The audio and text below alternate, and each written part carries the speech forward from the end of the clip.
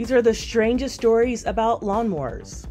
From 2017, homeowner Brian Juel could be seen here mowing his lawn.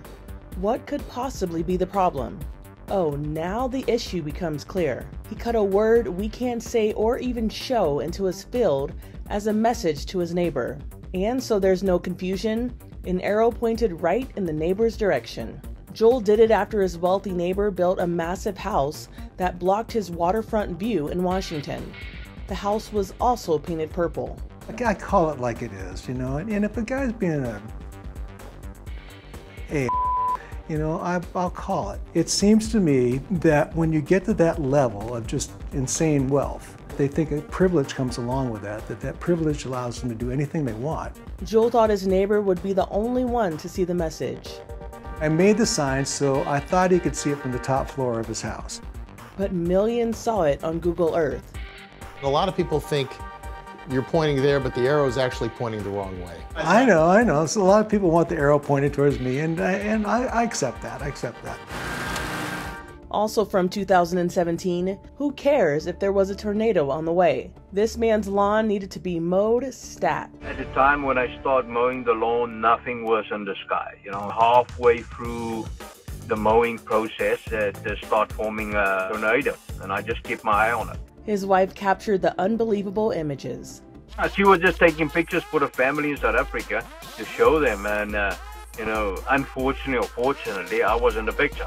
So I'm a organic lemonade stand operator, designer, dog walker, reptile caregiver, lawnmower, professional ring bear. David Smith of North Carolina was an ambitious entrepreneur, but in 2018, he had a scare while selling lemonade.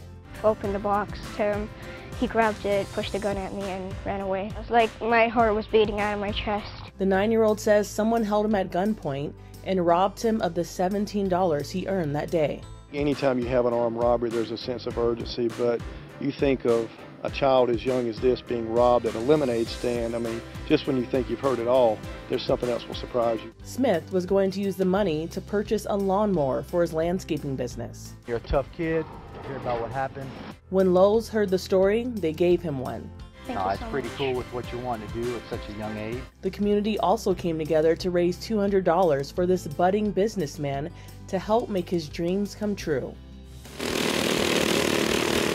In 2022, these flashy vehicles took corners and cut grass for British lawnmower racing. Welcome to the World Championships of the British Lawnmower Racing.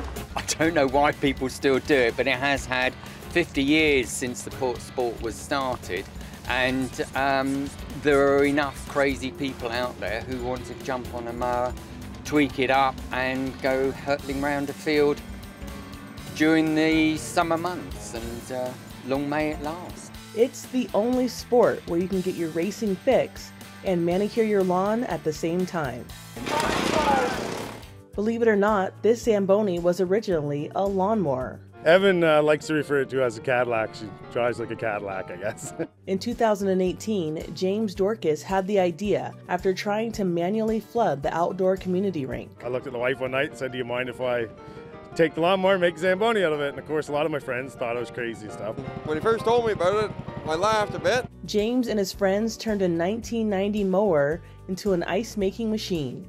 We took the mower deck off and added some water tanks and a blade for scraping the ice. I've had um, a few people call me and ask to tell me to make sure I get a patent on that.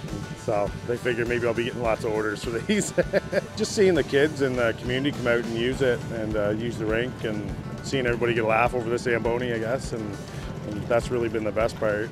For Inside Edition Digital, I'm Andrea Swindall.